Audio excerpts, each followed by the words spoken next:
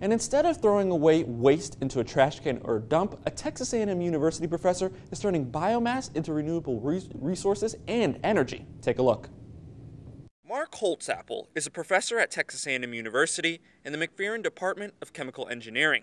He spent most of his life creating a method to turn waste into essential fuels and chemicals. If we use biomass as our raw material for making fuels, it's carbon neutral.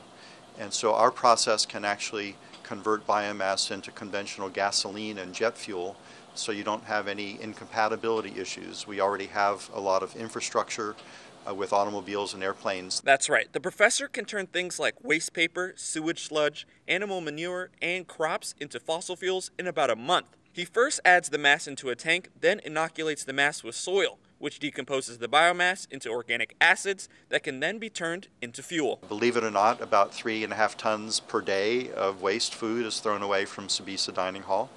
Uh, we use, also use paper from the recycling center and chicken manure from Sanderson Farms.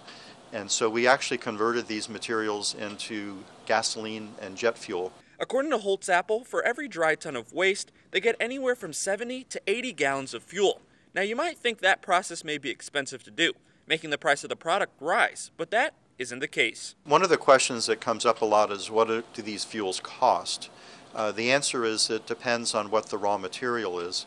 Uh, in the case of municipal solid waste and sewage sludge, uh, we can make gasoline for around $1.25 per gallon. And bio-based ingredients company BioVeritas recently began using Holtzapple's process commercially, and the plan is to produce 20,000 tons of product per year by 2025.